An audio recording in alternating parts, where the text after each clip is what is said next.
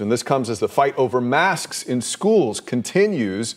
Tonight, Volusia County School Board canceling an emergency meeting about masks just hours before it was supposed to start. The district says the board wants to wait for the court ruling on the governor's appeal. News 6's Molly Reed breaking down what this means for schools right now. With school districts waiting to hear what the decision will be in Tallahassee, the Volusia County School Board decided today to put any changes to the district's mask mandate on hold.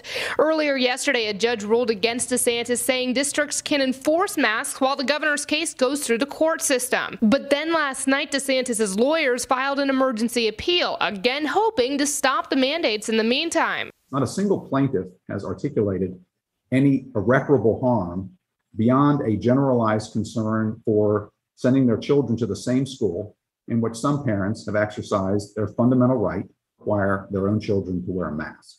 As it stands now, Volusia starts mandatory masks this week, but there is a grace period through Friday for families who need to get a medical exemption note. They're kind of caught in the middle between what the governor has said, what the district has said, has said, and now we're vacillating back and forth.